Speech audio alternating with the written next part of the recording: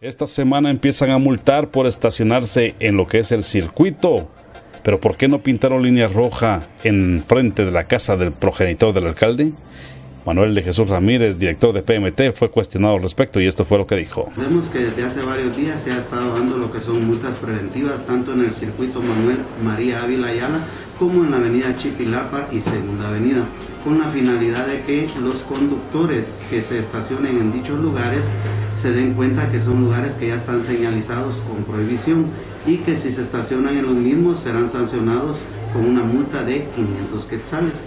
En este caso estamos únicamente preventivas. Se va a iniciar durante este tiempo de feria para tener libre lo que es el paso de los diferentes desfiles y diferentes actividades que se realicen en el mismo y que no haya entorpecimiento de los mismos y que haya una libre locomoción y que el pueblo de Jalapa pueda disfrutar sin ningún problema y con toda la alegría todas las actividades septembrinas cuando habla de que empezarán ahorita para la feria, ¿habla de las preventivas o ya las que tienen que pagar? Ya las efectivas. Estamos hablando de que a más tardar el día viernes estaríamos nosotros dejando de dar las preventivas para comenzar a liberar lo que es el circuito.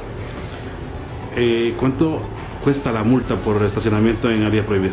Es de 500 quetzales. Recordemos que si la persona la cancela antes de los 5 días, tiene el 25% de descuento, lo que quiere decir que estaría pagando un total de 375 quetzales. Ahora, en esto queda una ligera duda, señor director, ya que frente a la casa del alcalde, donde está la, la sede del partido de la UCN, eh, no está pintado con línea roja, debido a que estaba mala la acera, me parece, y la la arreglaron. Se ve como borrosa en cierta parte. ¿Estarán pintando nuevamente? Correcto, recordemos de que en los lugares donde por los diferentes trabajos que ha realizado lo que es servicios públicos, en lo que es la recuperación de banquetización, en ese caso tendremos que repintar dichas áreas. La prohibición es para todos. Definitivamente.